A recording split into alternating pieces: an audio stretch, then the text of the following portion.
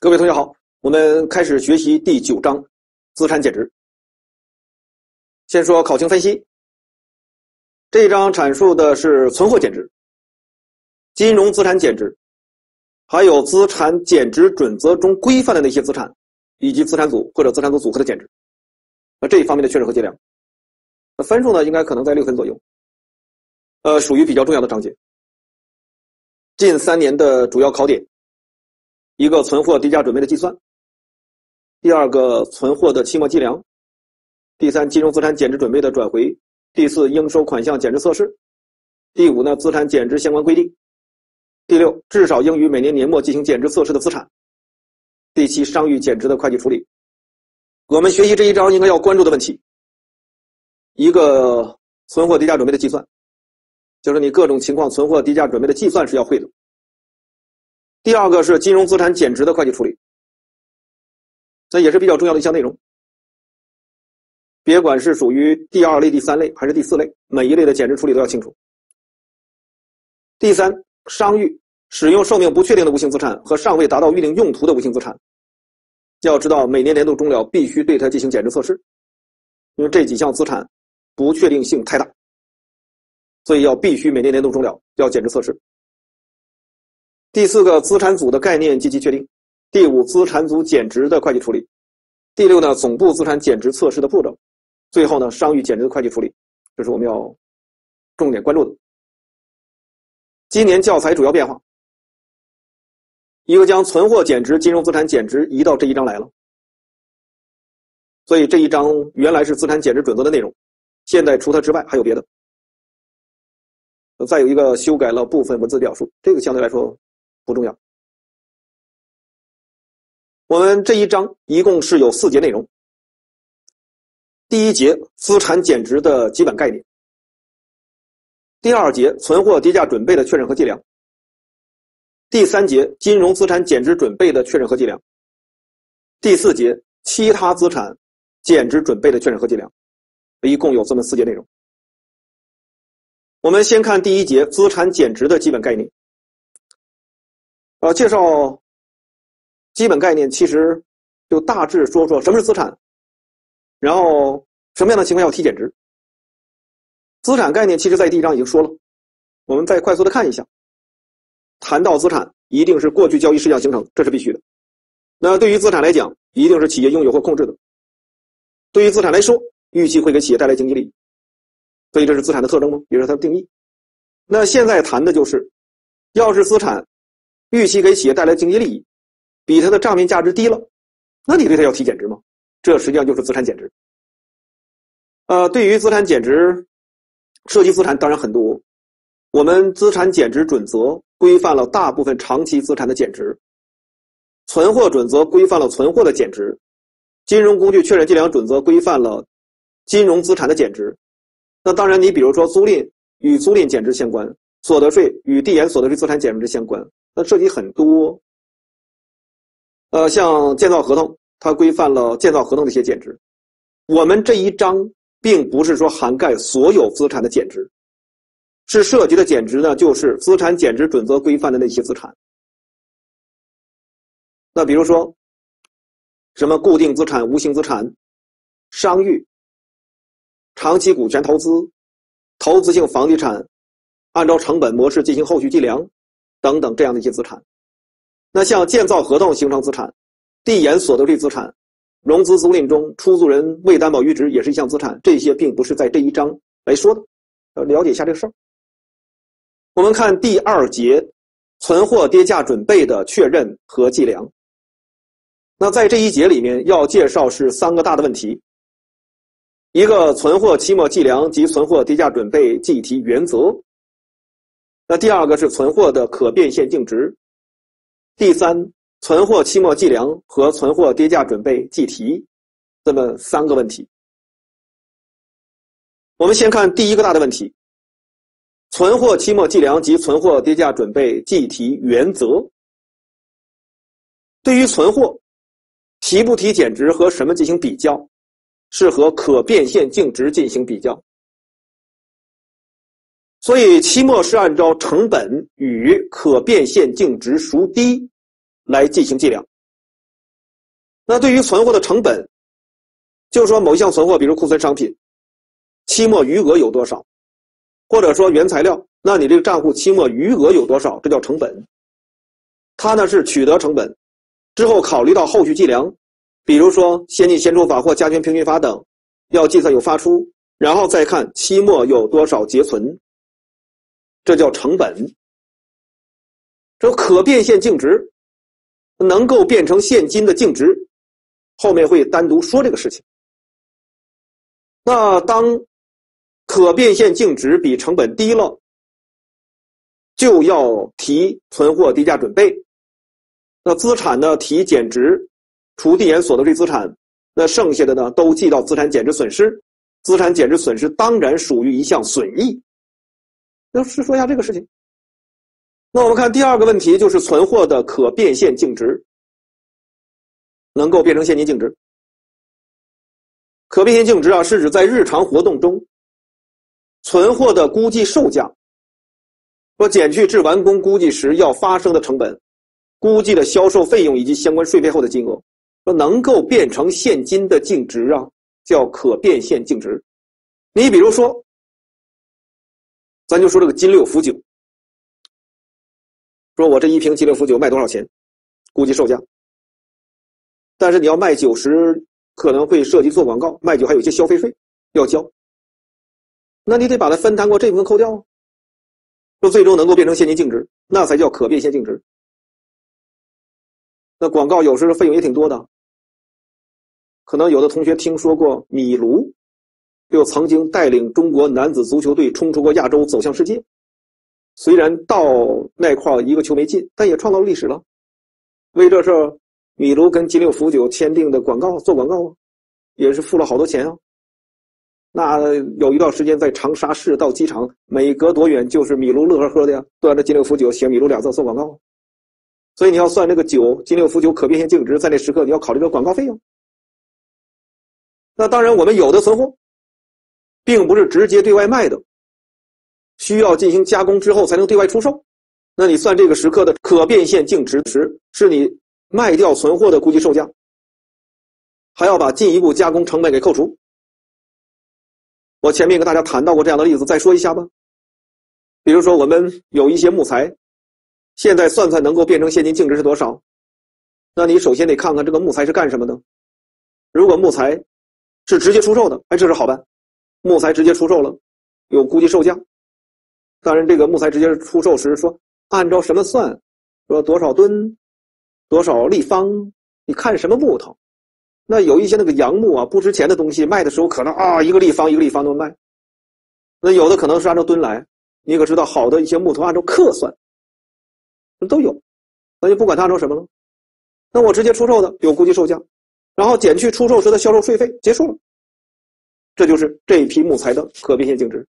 但如果说我们这一批木材明确的是用于生产产品，比如说用它加工二百张桌子。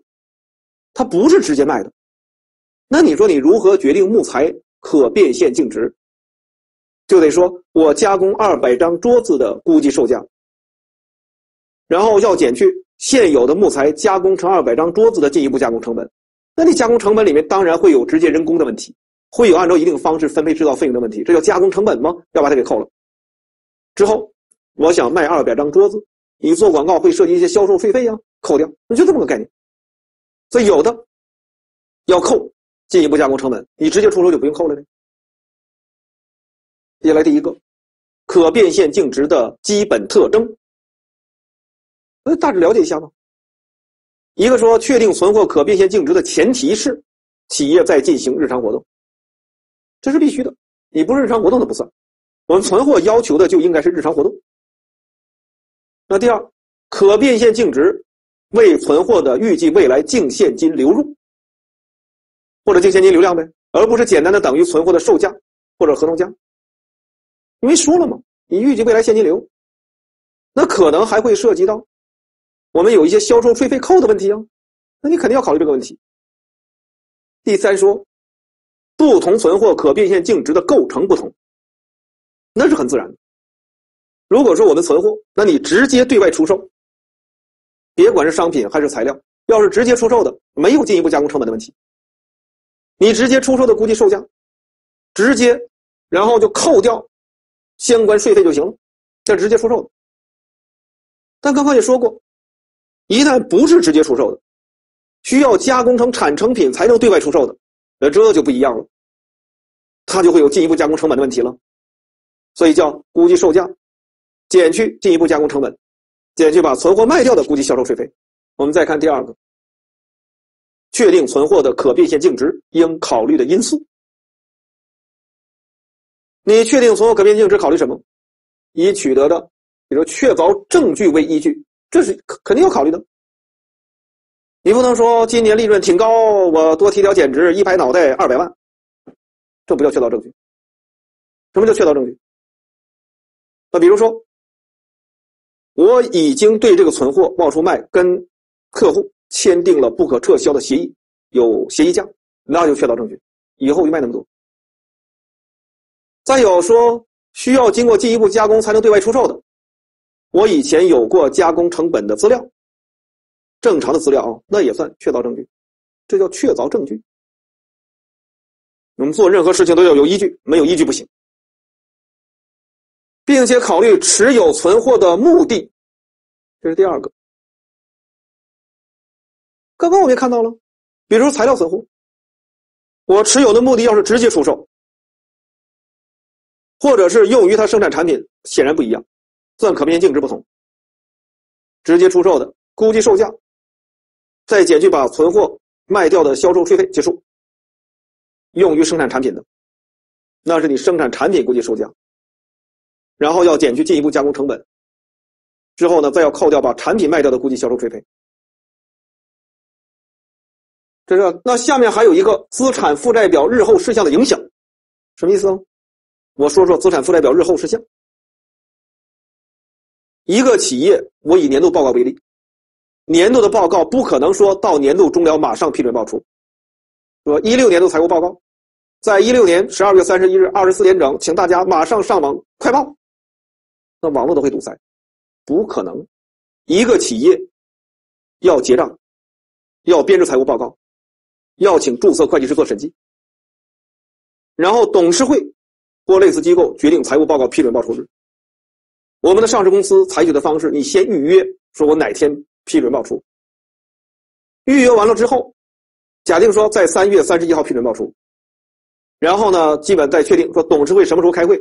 会不能开的太早，三月三十一号批准报出，你说我二月十八号就开会，那不行，那有些信息透露麻烦了，呃，时间离离报出时间越长，那那那透露的这种概率越高，那不行，所以一般呢可能是提前两天左右，呃，一天两天呢差不多这个样子开董事会，那董事会呢就是这一天决定财务报告说什么时候批准报出，实际上上市公司批准报出的时候先定，定完了董事会开会，开会说哦我那一天往出报这么个事儿，我们说的是日后事项。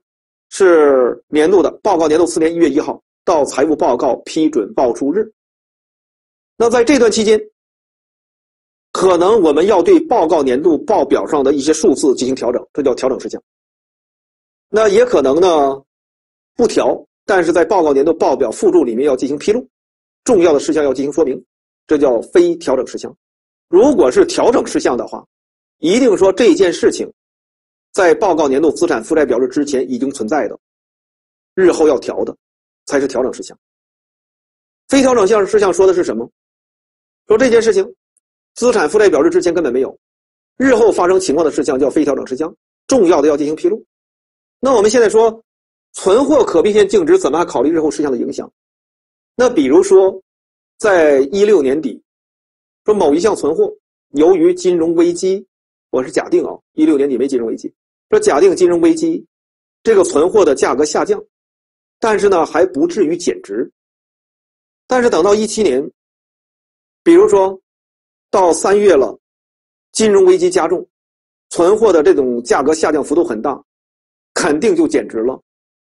那在这种情况之下，你决定一六年底存货就要提低价准备，因为它有一个估计售价吗？根本就不行了，不行，估计售价就要考虑。所以这件事情是说。在资产负债表日之前已经有这种减值迹象，当时不减值，日后事项期间价格下降幅度大有减值，你要考虑这些方面的因素。这是说这件事情。那我们看第三个大的问题：存货期末计量和存货跌价准备的计提。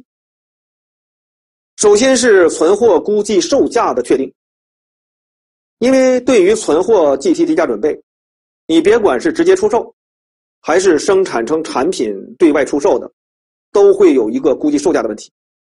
估计售价怎么定？有合同的，在合同数量范围之内的，要执行合同价。那合同价就是确凿证据啊。说签合同了，我每一件卖一百，说我现在市场上一百二。那你有合同按合同来。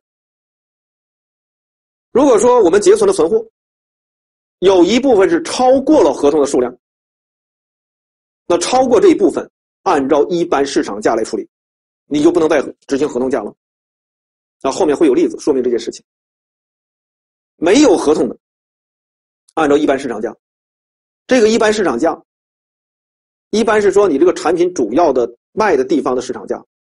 啊，在考试时呢，当然会直接给，说告诉没有合同的市场价是多少。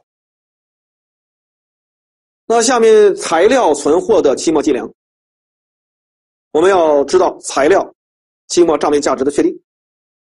这个实际上来讲，在考试时呢，它是一项比较主要的内容。对于材料存货如何决定它期末账面价值，我们首先是要看它的用途。不说了吧？先要考虑，呃，要考虑用途，就是说材料到底是直接出售，还是用于生产产品之后对外出售，那不一样。当材料要是直接出售的，那我们算它的可变现净值的时候，就是材料对外出售的估计售价，扣掉把材料卖掉的估计销售税费就结束了。因为材料是按照成本与可变现净值孰低计量啊，这个比较简单。直接出售，看用途吗？但下面说，要是材料用于生产产品，不是直接出售的，这就不一样了。这种情况，先要判断所生产的产品是否发生减值。如果说产品没有发生减值，那你材料按照成本计量，所生产产品没有减值，材料减值没有意义。比如说有这么一个案例，某一年啊，一家外企公司，呃，美方控股，我一个同学当时在那做财务总监，他呢生产汽车配件，结果呢当时是钢材价格下降，但是明确钢材是用于生产汽车配件，而汽车配件呢，它跟一些汽车厂早已经签合同了，汽车配件肯定是没有减值。但是呢，钢材的价格下降，正好赶上它这一年的利润又相对比较多。我想大家这件事能理解。如果利润比较多了，为了减少下一年的压力，他可能呢就说把今年利润调低一点。他想那怎么调低呢？我正好钢材价格下降，就对钢材提减值了。结果事务所去了，说你这个钢材不能提减值，原因是钢材是用于生产汽车配件的。而汽车配件不减值，然后他感觉也有道理，但是他想方设法的就是今年利润降下来点，减少明年的一些压力，有这方面的考虑。他说：“那刚才已经都下降了，怎么就不让我提减值啊？”完，最终两人聊聊聊，不认识我，我就打电话，他就问我说：“真的不能提减值吗？”我说：“你感觉呢？”他说：“我感觉他们说的也对。”我说：“当然了，有这方面的规定。”你要用于生产产品，产品没有发生减值，材料按照成本计量。是啊，那最终没提呗，因为他已经做的级别很高了。财务总监，你要级别做高的时候，已经都是自我实现的感觉了，可能有些细节呢就不怎么关注了。那当然，咱们努力考过注册会计师，先把业务搞好了，一点一点往上做。你知道，你职位做的越高，挣钱越多，为国家做的贡献越大，那这个没问题，应该都清楚。那好，我们再往下。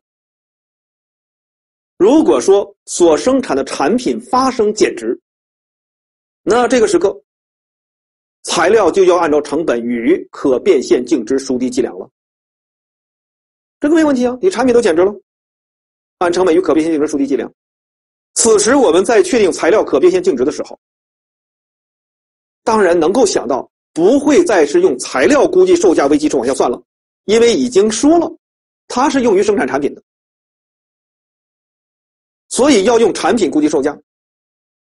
然后呢，就得减去制完工估计将要发生的成本。本身我们要算的是材料的可变现净值，当然要把制完工估计将要发生的成本给扣了。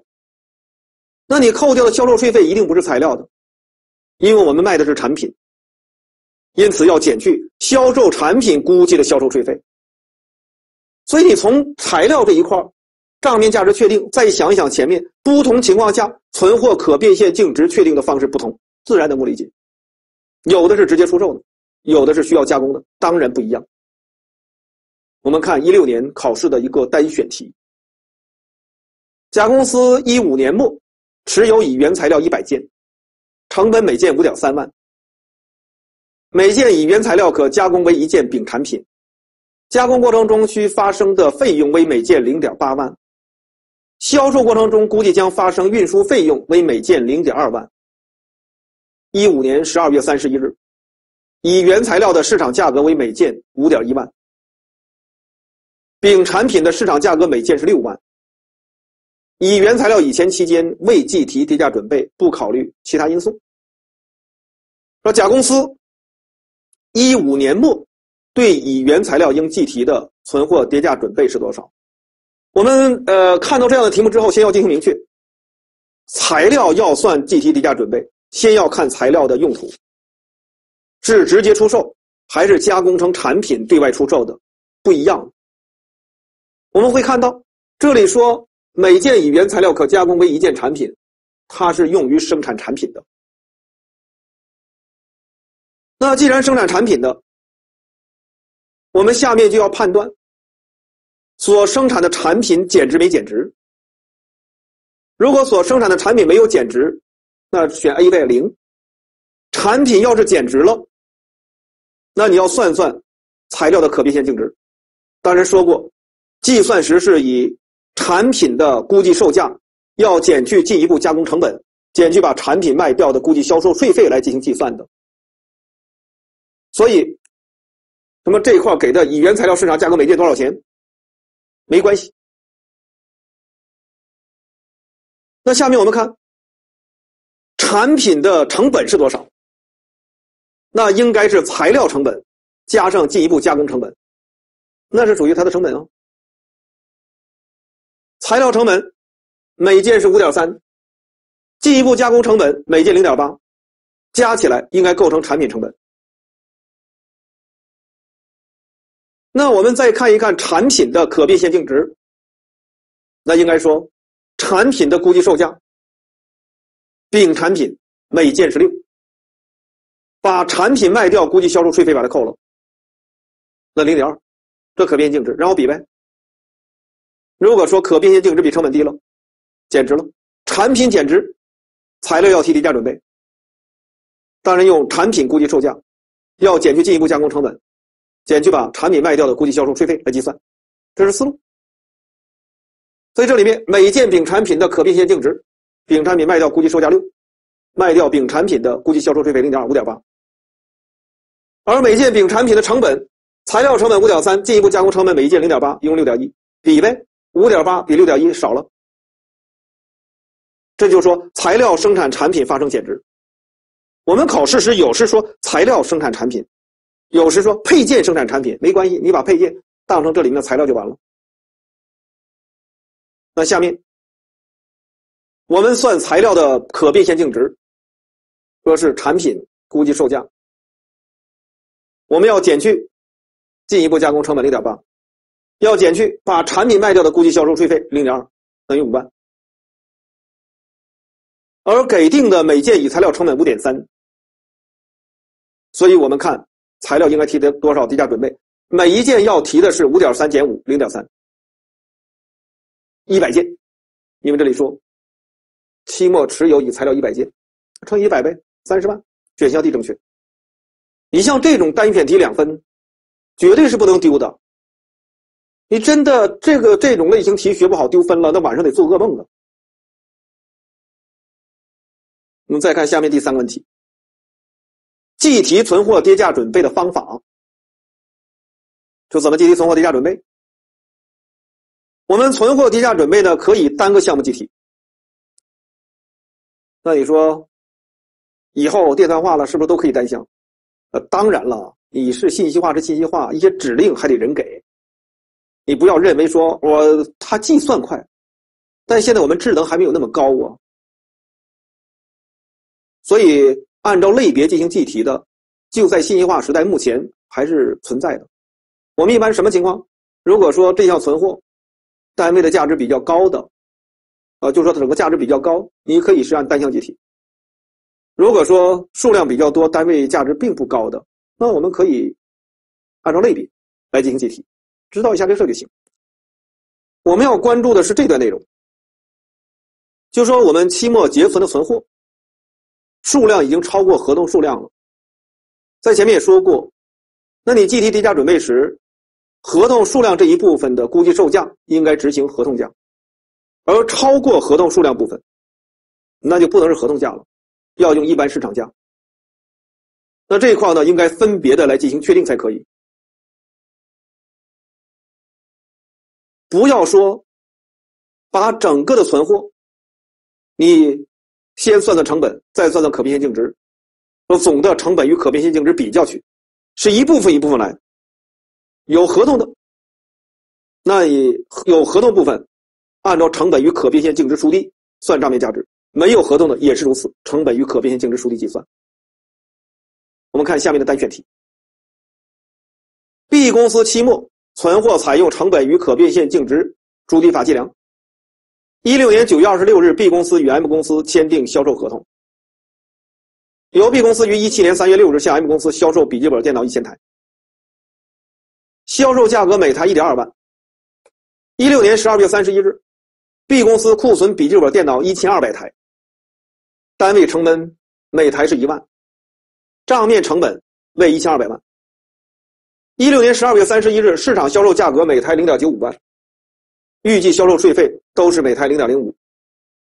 一六年十二月三十一日，笔记本电脑应计提的存货低价准备金额是多少？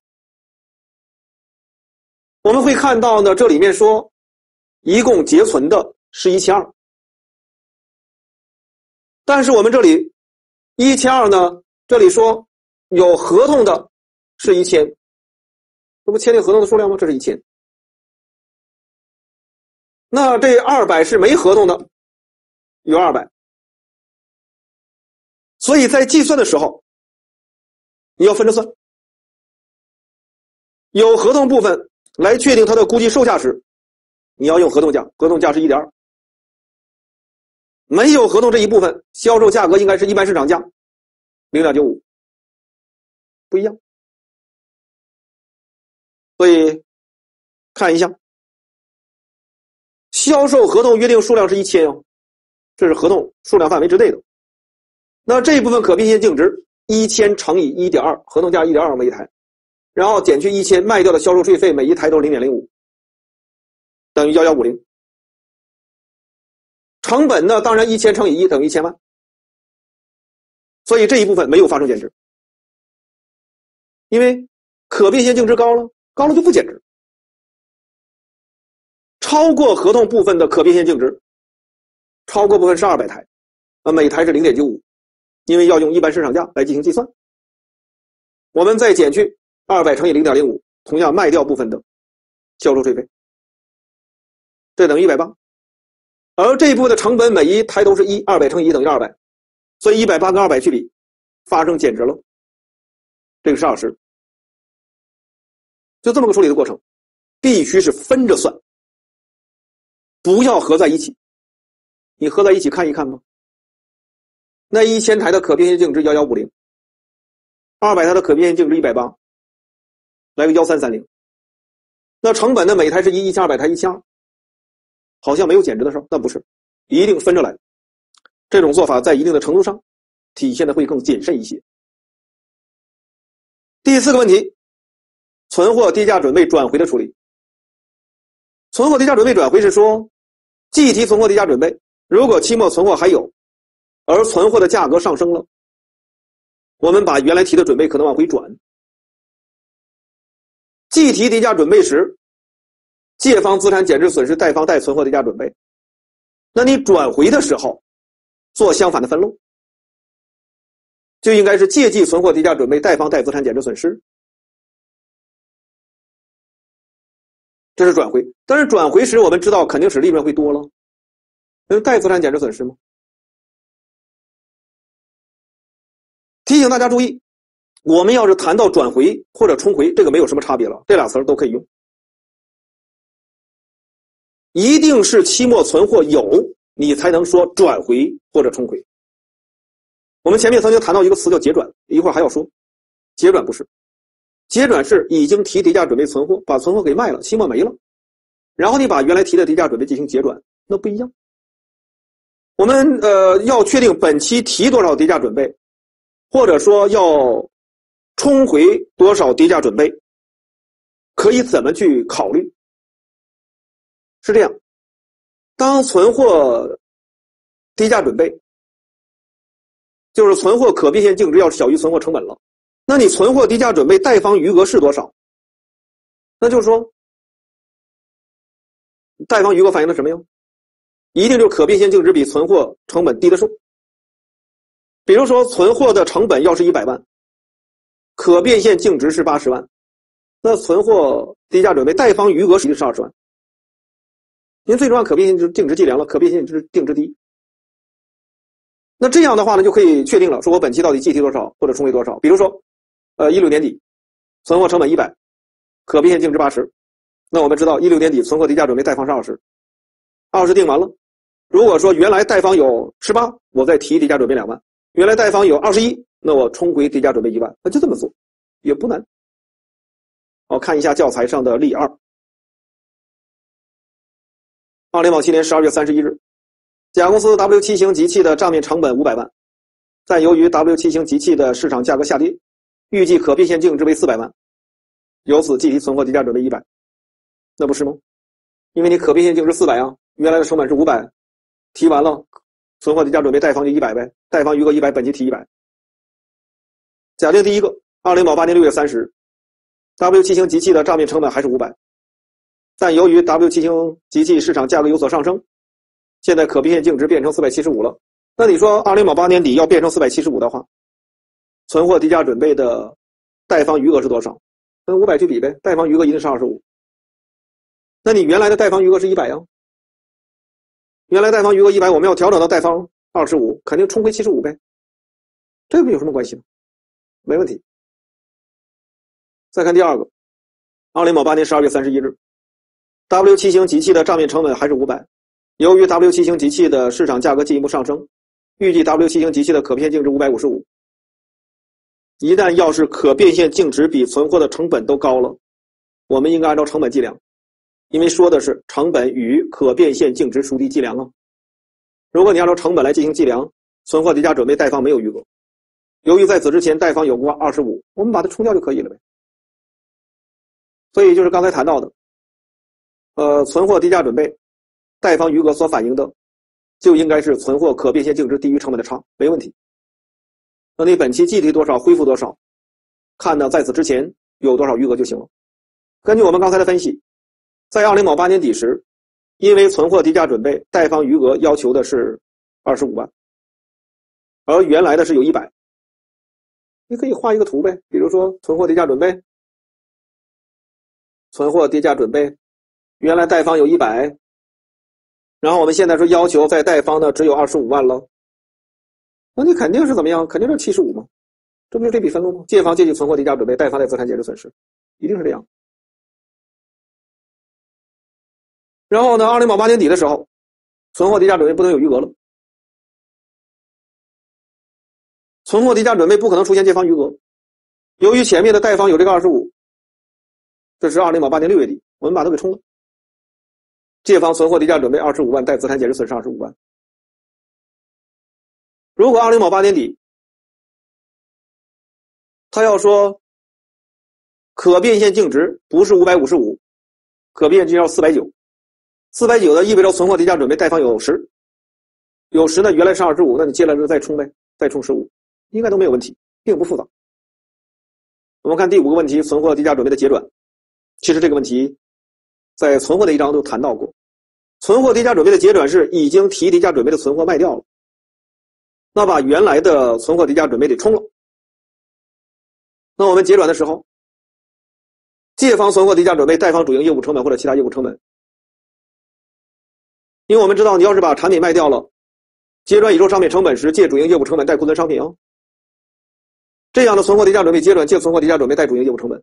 要是卖材料，借其他业务成本贷原材料。存货低价准备结转时，借存货低价准备贷方代记其他业务成本啊。这个跟前面谈到冲回不不不同，谈到冲回一定是期末存货有你才叫冲回，我们结转不同，结转是没存货了卖掉了才做这样的处理。对于非货币资产交换债务重组转出的，那也是一样，按照那个准则处理，其实也是认为是卖掉这种方式去处理的。我们看下面这个题目，甲公司。一六年十二月三十一日，A 库存商品的账面余额是二百二十万，已计提存货底价准备三十万。一七年一月二十号，甲公司将上述商品全部对外出售，售价二百万，增值税销项税额三十四万，收到款项存入银行。那一七年一月二十号，甲公司出售这一商品影响利润总额的数字。我们要算影响利润总额的，应该售价与账面价值之间的差。那谈到存货账面价值时，很自然的应该是余额要扣掉提的准备嘛。所以我们看要做会计分录的话。就是了解一下结转这种情况的分录，呃，二百万的确认收入，那实际收到款项二百三十四，我们有呢，借记银行存款二百三十四，贷主营业务收入是二百，增值税的销项税额那是三十四，然后当时二百二十万的成本，借记主营业务成本贷库存商品，由于在此之前提了低价准备三十万，三十万呢，我们把它给结转，充主营业务成本，借存货低价准备三十，贷主营业务成本三十。所以影响的数额呢，就应该是售价二百万，账面价值当然是二百二的账面余额减去原来提的低价准备三十万，应该是一百九，影响利润总额应该是十万。那，这是它的处理过程。我们这节课谈的是存货低价准备，那应该要知道可变现净值确定时要考虑的一些因素，呃，这是要知道。然后呢，可变现净值在确定时的估计售价，有合同的按照合同来，超过合同部分一般市场价，没有合同的一般市场价。然后要清楚材料账面价值的确定。呃，卖的跟不卖的不一样。如果卖掉了，那就是材料估计售价减去把材料卖掉的估计销售税费。如果说用于生产产品才能对外出售的，我们要进一步判断，产品减值没减值？产品没有发生减值，材料不减值，或者配件也不减值。对于呢，生产产品发生减值，那对于材料按照成本与可变现净值数计计量。不过这个时刻呢，算材料的可变现净值时，一定是产品估计售价减去进一步加工成本，减去把产品卖掉的估计销售税费。那这是我们要注意的问题。啊，再有呢，就是说，如果是期末结算存货。签订合同了，那你要分在合同数量范围之内部分和超过合同数量部分，呃，分别的确定它的可变现净值。那在合同数量范围之内部分的价格呃估计售价肯定是合同价，超过部分的一般市场价。那这一点呢，我们要掌握。然后最后呢，要知道存货低价准备的计提、呃冲回以及结转的会计处理。那这节课就到这里，谢谢大家。